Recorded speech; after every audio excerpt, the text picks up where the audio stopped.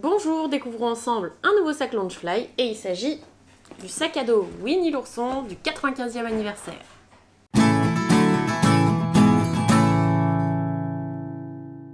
C'est un sac sur le film Les aventures de Winnie l'ourson. Vous avez du coup euh, Porcinet qui est juste ici et Winnie. Ils sont en relief tous les deux qui sautent sur le drap.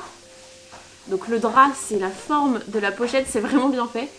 Et ce drap est tenu par euh, Maman Gourou, Coco Lapin, Bourriquet et Jean-Christophe.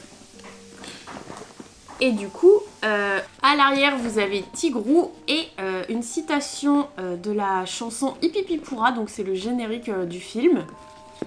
Je vais vous montrer le motif intérieur, qui est très beau.